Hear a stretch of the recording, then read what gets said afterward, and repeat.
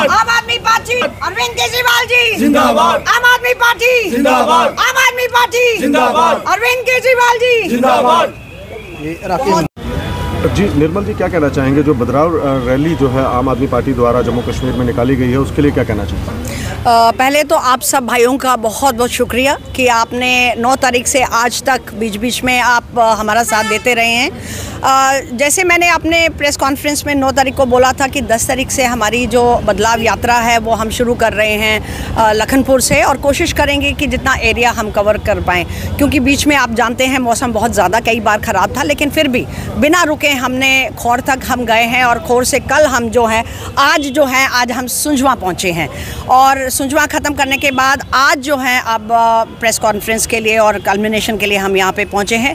आपके माध्यम से सबसे पहले तो मैं ये शुक्रिया अदा करना चाहती हूँ पूरी जनता का, जिन्होंने हमारा सहयोग दिया, जो पूरे रास्ते हमारे साथ थे। और बड़ा अच्छा लग रहा था जिस तरीके से लोग जुड़ रहे थे। एंड मैं बताऊँ कि इस पूरे टाइम में ऑलमोस्ट सौ से डेढ़ सौ लोग जो हैं, वो हमारी पार्टी उन्होंने ज्वाइन कर रही है। खासकर हमारी जो महिला शक्ति है, जब उन्हें बताया गया कि उनके बच्चों के लिए क्या हो रहा है एजुकेशन के लिए क्या हो रहा है मेडिकल फैसिलिटीज़ में क्या हो रहा है, देखिए, जब तक जन जन नीतियाँ हम लोगों तक नहीं पहुँचाएँगे, और मैंने पहले दिन अपनी प्रेस कॉन्फ्रेंस में बोला था, ये जनसंपर्क है। ये यात्रा लोगों को एक साथ इकट्ठा करने की है, लोगों के साथ वन टू वन इंटरेक्शन की है, उनकी प्रॉब्लम्स को समझने की है, और जब भी हमारी पार्टी का मैनिफेस्टो बनो, बने। तो वो ये जो भी चीज़ें बहुत सारी छूट जाती हैं, उसको हम इनकॉपरेट उसमें कर सकें। तो बहुत अच्छा सहयोग मिला लोगों का एंड बहुत अच्छा हुआ कि हम निकले। क्योंकि हमारे को निकलने से ही पता चला कि लोग तो हमारे साथ सारे के सारे जुड़े ही हुए हैं। अंदर ही अंदर सब जानना चाहते हैं, क्योंकि कल जब हम निकल रहे थे मेन जब पूरा बंथलाब से लेके जब जम्मू हम पहुँचे हैं, मुझे बड़ी खुशी हो रही थी कि लोग अपने घरों की छतों पे चढ़ के, अपनी दुकानों से बाहर आके हमारा अभिनंदन कर रहे थे। तो बहुत अच्छा लगा एंड जो सोच के निकले थे आई थिंक हम सबको वो वो हमने कंप्लीट किया, वो पूरा। लेकिन अब उसके बाद हम, दूसरा हमारा फ़ेज़ है, वो स्टार्ट करने वाले हैं, जो हमारा सुंदरमनी से शुरू करके हम आगे रजौरी और पुंछ होते हुए कश्मीर की तरफ़ जाने का सोचेंगे। तो निर्मल जी, जैसे कि आपने कहा कि बदलाव बदलाव रैली का क्या मकसद था कि किनको जोड़ना था और कितने लोग अभी तक इस बदलाव रैली से आपके साथ जुड़े?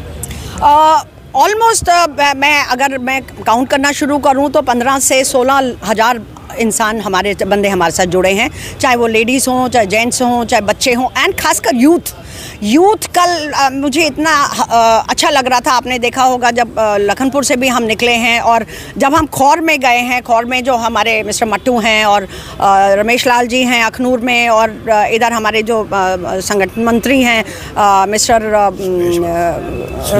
सुरेश भगत। जी बहुत अच्छा काम किया है। उसके बाद राव साहब का पूरा एरिया था।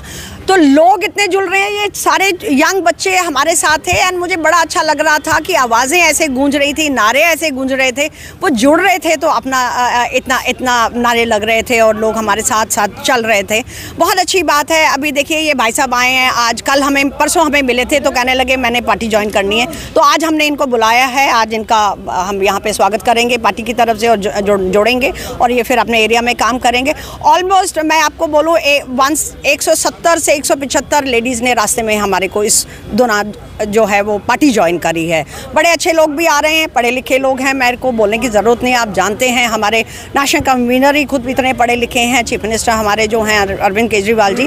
तो नीतियाँ और सोच उस लेवल की है वो छोटी लेवल की नहीं है, क्योंकि काम करना चाहते हैं आम जनता के लिए, आम जनता के लिए काम हो रहा है, चाहे हम सो दिल्ली की बात करें या पंजाब की बात करें, मैं मैं पूरा वो गिनाऊँगी नहीं, क्योंकि वो जन ज़ाहिर है जो काम हो रहे हैं। और हम चाहते हैं कि लोग यहाँ के भी, उनको भी वो सारी सुविधाएँ मिलें, जो दिल्ली में हम हमारी सरकार उन्हें दे रही है। और सबसे बड़ी बात है कि जम्मू कश्मीर जो है, वो अपने आप में एक सक्षम यूटी है।